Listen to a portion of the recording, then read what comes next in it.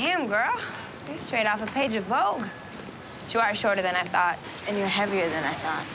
Oh, my God. Alex is a 19-year-old singer-songwriter from the Upper East Side of New York. Her dad's a rock star. She wants to make it in the music industry on her own. I need to make music that feeds my soul.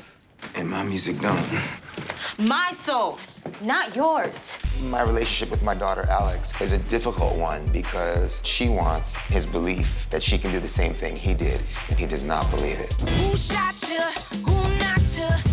Yo, that sounds crazy. Alex and Star meet over social media, and they come up with this idea of going to Atlanta. She lies about who her parents are because she doesn't want all that attention on her. Singer-songwriter, fresh from the Upper East Side. That's all I got for you. She's been entitled all of her life, and she's been given the world. She's learning how the other side lives. Well, everything ain't Fendi and Prada Alexandra. You need to let your weave down, girl. Oh, Blondie, this is real. Not all black girls wear weaves. Alex and Star are very different people, but at the same time, they're the same because they're very driven and serious about their music. We need to build some kind of a buzz. Get our faces out there. Alex has that kind of ambition, and she's really, really hungry for it.